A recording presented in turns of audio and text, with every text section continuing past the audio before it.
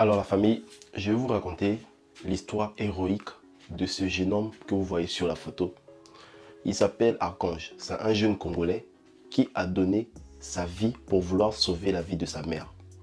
Alors la scène se passe au Congo-Brazzaville. C'est une scène qui s'est passée le 30 décembre 2022, donc il n'y a pas longtemps. La pluie s'est abattue au Congo, des pluies assez, que je dirais des pluies violentes vraiment, et il y a eu beaucoup des écoulements de terrain et c'était la pluie que vous pouvez juste voir sur les images. C'était ce genre de pluie. Alors, au cours euh, de cette euh, agitation de pluie et de ces tornades et tout ce qui est euh, intempérie, il y a eu la maman de ce jeune homme, Archange, qui a été pris par le courant de l'eau et l'eau a commencé à conduire la maman d'Archange.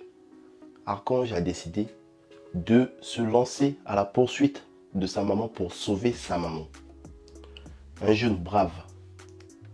Alors, la seule chose que j'ai vue sur cette vidéo qui m'a beaucoup plus fait mal, c'est que sur la vidéo, Archange s'est lancé dans cette euh, histoire de courant d'eau pour sauver sa maman.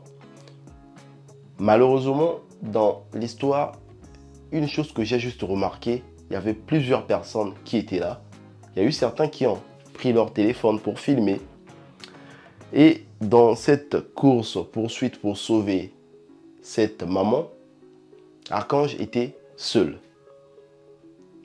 Bel et bien, il s'est lancé.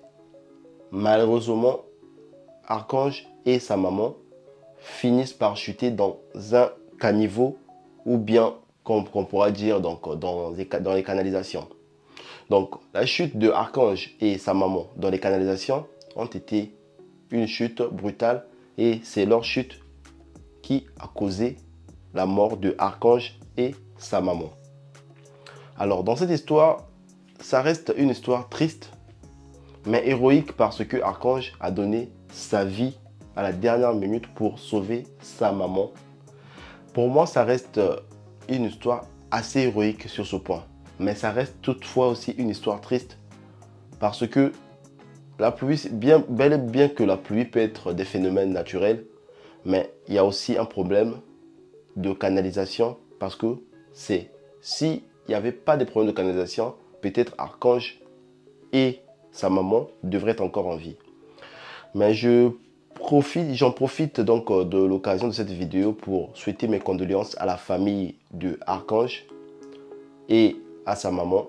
En tout cas, pour moi, Archange reste un héros et je lui dis que son âme repose en paix, Archange. Vraiment, tu es un archange.